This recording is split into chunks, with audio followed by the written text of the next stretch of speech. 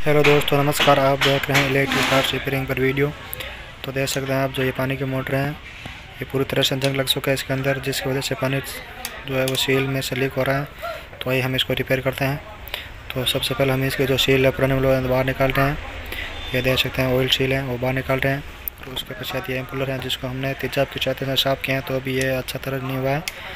तो मैं आपको दिखा रहा हूँ, देख सकते हैं ये, जो ये सील है, वो बाहर निकल चुकी है। पैकिंग है वो भी दिखाऊँगा आपको। तो ये इसके देख सकते हैं हेड वाला, आगे वाला जो है, पूरी तरह से जंग लगने की वजह से पूरे ख़राब हो चुके हैं। तो हमने इनको भी देता, आपकी सहायता से साफ़ किया है। फिर भी ये अभी अच्छी तरह साफ़ नहीं हुए। तो वीडियो अच्छा लगा है तो वीडियो लाइक ज़रूर करें। आपको और भी अच्छे से टेक्निकल इलेक्ट्रिक वीडियो देखने को मिलेंगे।